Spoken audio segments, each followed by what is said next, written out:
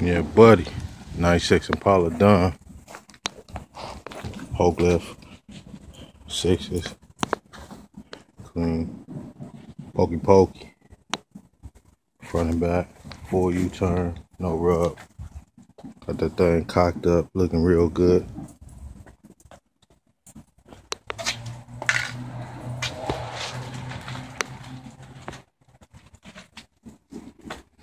Hit me up. Hulk Kustoms LK31 at gmail.com. Hulk Kustoms, baby.